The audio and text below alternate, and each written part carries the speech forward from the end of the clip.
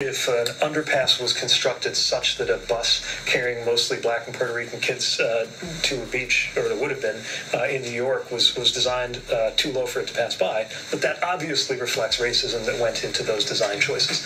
Um, I don't think we have anything to lose by confronting that simple reality, and I think we have everything to gain by acknowledging it and then dealing with it, which is why the reconnecting communities, that billion dollars, is something we want to get to work right away. I tell you, these Marxists in the Biden administration would never let a crisis go to waste.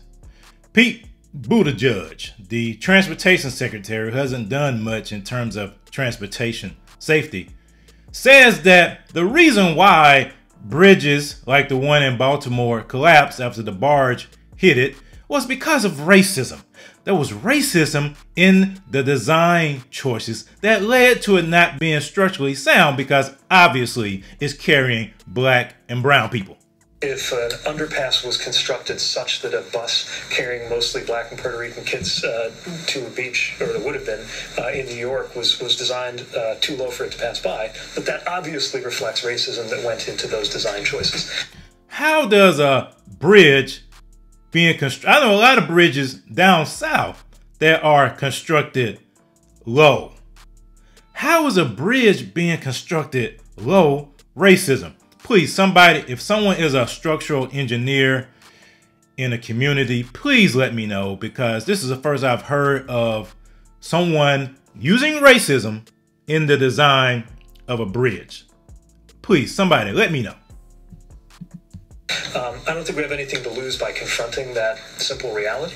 And I think we have everything to gain by acknowledging it and then dealing with it, which is why the reconnecting communities, that billion dollars, is something we want to get to work right away. Go look at this. So, what Pete Buttigieg is saying is that we're going to rebuild this bridge in the image of the structural racism reality that we perceive. In other words, you know, this bridge was called the Francis Scott Key Bridge they may rename this bridge and call it, since it's Baltimore, they may call it The Wire, based upon that show that used to come on HBO, which I never watched, but I heard about this show called The Wire. They may call it the Lamar Jackson Bridge after the quarterback for the Ravens. Why don't you call it the Ray Lewis Bridge? Everybody in Baltimore loves Ray Lewis. So just call it the Ray Lewis Bridge. Watch. I bet they try to rename this bridge. And for those of you who have not seen it, it was a tragic, tragic accident that happened overnight the night before where a barge ran into one of the pillars on the bridge and the bridge collapsed. While you were sleeping, shocking video today out of Baltimore. This is all that is left of the Francis Scott Key Bridge, one of the main traffic routes through the city. And it was hit by a container ship. You can see how that collision caused that bridge to snap in several places. Look at that there, plunging to the river below in just a matter of seconds. Now, what we know here is that construction workers were on the bridge at the time of the collision. Emergency responders say that they are searching for at least six people. NBC's Ryan Nobles has the latest. Search and rescue efforts continue here at the site of the bridge collapse in Baltimore, Maryland. The Francis Scott Key Bridge collapsed after a container ship, a thousand foot container ship, collided with the base of the bridge, collapsing the bridge in just a matter of seconds. And since that moment at 1.30 in the morning, rescue crews have been frantically searching uh, for a group of construction workers that fell into the water as the mm. bridge collapsed.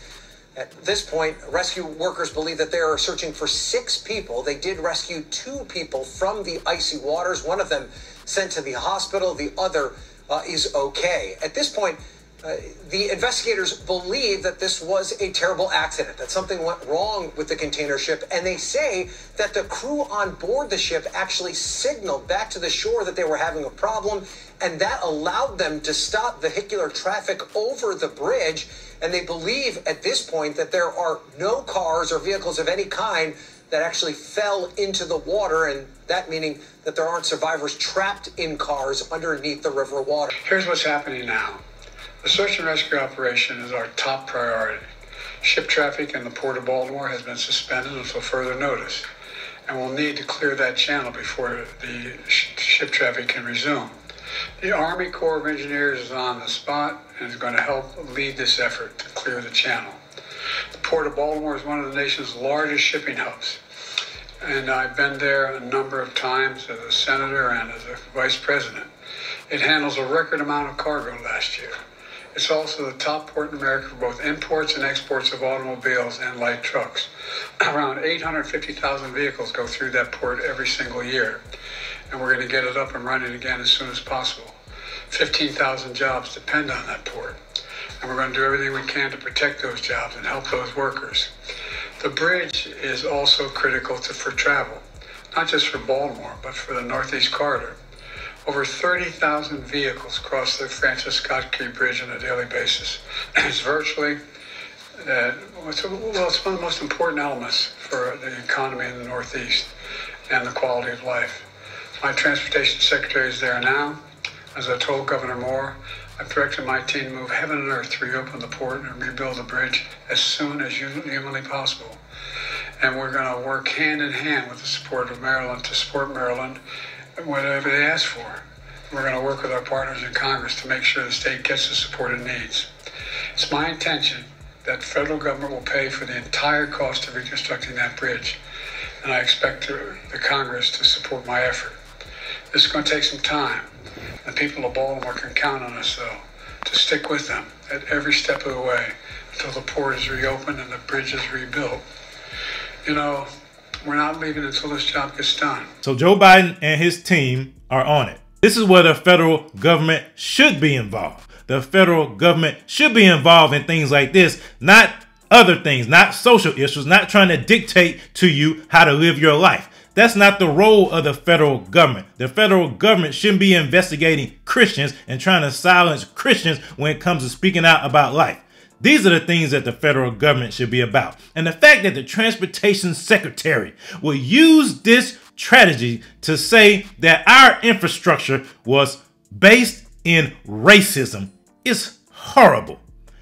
Black people, they will use any and every situation to reinforce this notion that this country is systemically racist. Look at their ploy, look at their trick, look at their tactic. They are profiting off of the atrocities of the past and they have no plans to correct it, but just use it for political power.